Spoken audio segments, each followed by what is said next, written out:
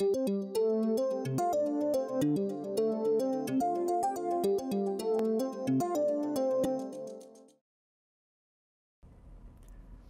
so here's what we understand so far about binary ideal solutions. A mixture of two different substances, A and B, in a liquid phase. They're vapors in equilibrium with them in, uh, in the vapor phase. Raoult's law tells us the pressure as a function of the mole fraction in the liquid phase is this straight line connecting vapor pressure of B, vapor pressure of A. If we instead think about how the vapor pressure, how, how the pressure depends on the mole fraction in the vapor phase, Y sub A, that's not a straight line and appears below the Raoult's law curve. So it turns out this diagram that I've been talking about, that is a phase diagram. The reason we know it's a phase diagram is because it describes, first of all, the equilibrium condition, the condition that must be obeyed for a system to, to have two different phases in equilibrium with each other. If we're on this line, if we have a particular mole fraction in the liquid phase, if the pressure is exactly equal to the value predicted by this curve, then the two phases are in equilibrium. If not, then they won't be uh, in equilibrium and we can't have just a single phase.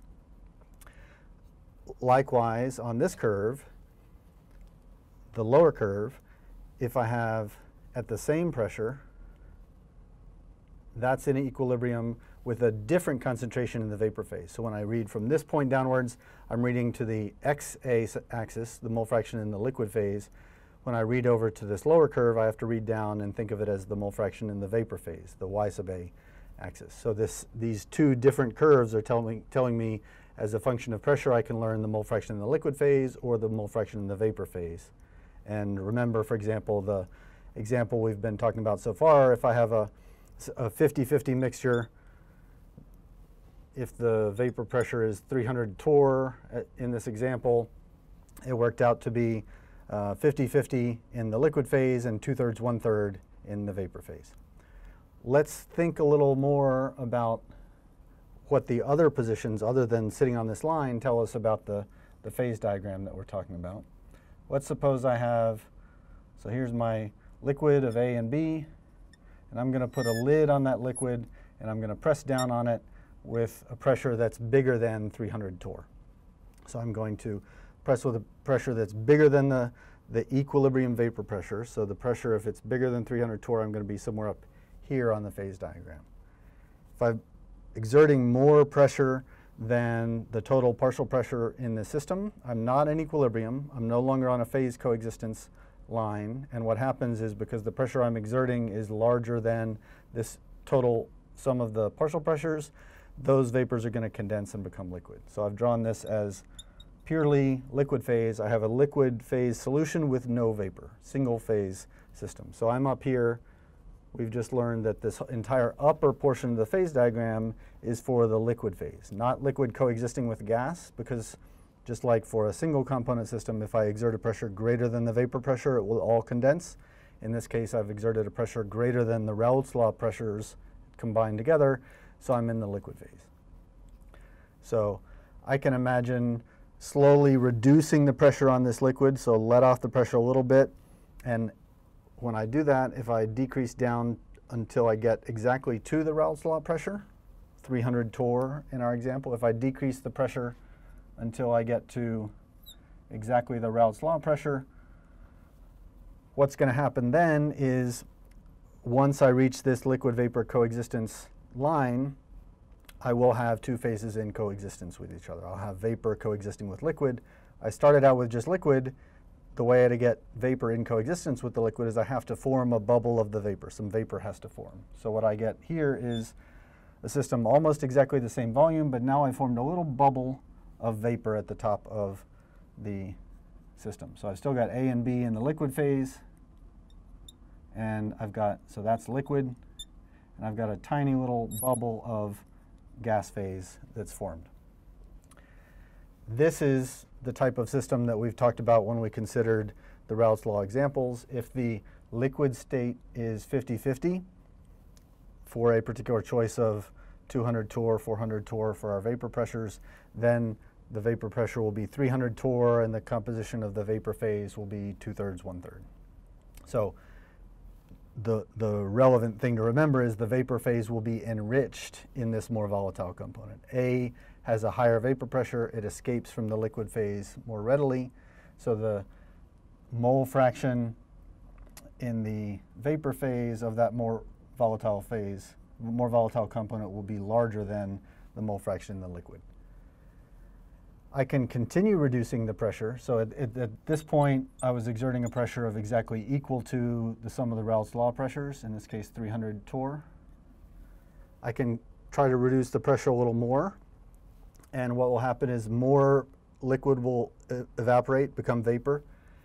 As I continue to do that, remembering that the vapor that gets formed is more, is enriched in the more volatile phase, I'm evaporating more molecules of A out of the liquid than I am of B. So in other words, I'm depleting the liquid of uh, the more volatile component A. So as this happens, the uh, mole fraction in the liquid phase is going to decrease because more of those molecules are leaving and entering the vapor phase. What that looks like on this phase diagram, I've decreased the pressure a little bit. I am in coexistence along these two curves. I can, at this lower pressure, I can read off the mole fraction in the liquid phase from this P of X curve is lower than it used to be. The mole fraction in the vapor phase is still enriched compared to the liquid. It's still more molecules of A in the liquid, um, higher mole fraction of A in the, in the vapor phase than in the liquid, but it has also become a, a slightly uh, lower concentration of A. And if I draw a picture of what's going on here, I've got some A and B in the liquid phase, and now maybe a substantial amount of A and B have evaporated into the vapor phase. Again, the pressure is a little bit lower. I have this mole fraction in the liquid phase, this mole fraction in the vapor phase. I can continue that further. I still have higher mole fraction of A in the vapor phase than the liquid phase, as this diagram shows me. But if I continue to evaporate more and more, again pulling a higher ratio of A out of the liquid than B, because A is more volatile, if I get to a point where I've only got a, a tiny little bit of liquid phase left, A and B coexisting in this little droplet at the bottom of the uh, container, and most of the volume of this container now is being occupied by gas phase. So I've evaporated almost all of the liquid, just a little bit of it left, mostly gas phase remaining. In this case, I'll have reduced the pressure down to the point where almost all the molecules are in the gas phase. If I ignore the few molecules left in the liquid phase, the composition in this vapor phase has to be the same as the composition I started with molecules have not left the container. So if it was a 50-50 mixture in the liquid to begin with, I'm going to end up, after I've evaporated it all, as a 50-50 mixture in the gas phase.